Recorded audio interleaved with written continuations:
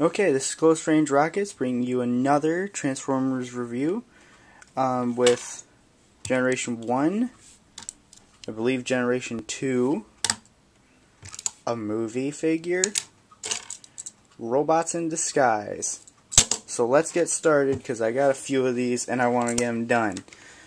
First, we'll do everybody's favorite. This is Wheelie, uh, rolling wheels, and I love this figure. He was pretty awesome. Uh, there's his face. Alright, let's get to the transformations because I will show them. These guys are very small, very easy. You bring the legs out. You flip the feet up. You bring the uh, back half of them down. You flip the lid up. And there's Wheelie! His legs bend. His arms go up and down. And that's all for Wheelie. Sea Spray, one of my favorites. He's a hovercraft. You bring you uh, pull him out, bring his back half up, flip the props up, push his arms up, and there you have Sea Spray. He has rolling wheels for feet, and his arms go uh, up and down. That's all for Sea Spray. We'll do Cosmos, the UFO. Woo! I got this way back when.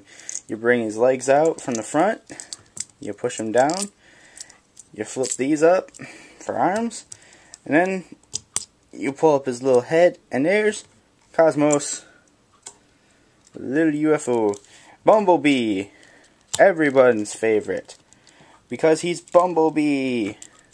This guy doesn't stand for me.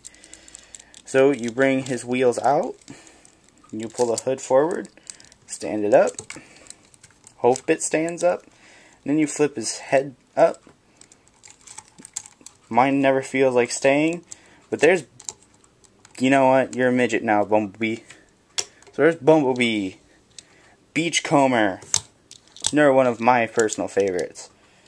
So for this one, you bring the whole front piece forward, you grab the tab, you flip it back, you grab his arms, pull him out, take this little blue piece, and there's his head. Beachcomber, full 360. His knees do bend, but that's about it. For Beachcomber. Powerglide. I should have done a review on this guy just by himself. He's so amazing. So, this guy's a little more difficult. Not. You bring the back half of the plane up. Oh, it's an A-10 Warthog. I just now realized that.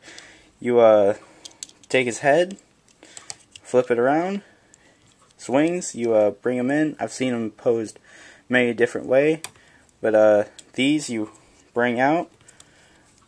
that's how I like to have mine kind of standing. That's Powerglide. A little special treat. On the camera, it looks yellow. To me, it's gold. So with this one, there's these side panels for half doors. You bring those up. You bring the back half. You push this in. When it wants to, there we go. And you take the back half. You bring it back. And there's Gold Bug. Woo! Alright. F1 Dasher. Woo. it's a Revan pull. Okay, so you take these, you push them so they're level, you bring them down, you pull them out. Ah, there's a little head. You take the front part, fold in half, bring the half down for his hand, bring their half down. There's F1 Dasher. Obviously, he he's taller than everyone else. now on to Robots in Disguise figures. This is REV. Have no idea what it stands for, but I bet something really important. So this one, you grab it, take it in half, and you break it. No, I'm just kidding. You take the back half, pull it out, stand them up. You grab these little sides, you bring them out for arms, you fold it down, His arms go full 360. And I actually have the gun for him. Just peg it into his hand, and there's Rev. Robots in Disguise, Mirage. Same thing with uh, Rev. You grab the back half, pull it, stand him up. I think this one, no. Um, grab his arms on the side, they're a pain. Then you flip the front down. Here's Mirage. Same articulation as Rev. And with Rev, I have the gun. which just pegs. And there you have it. These guys are on my shelf because they are so awesome. Bumblebee not so much because well his head and uh, Cosmos' head never want to stand up.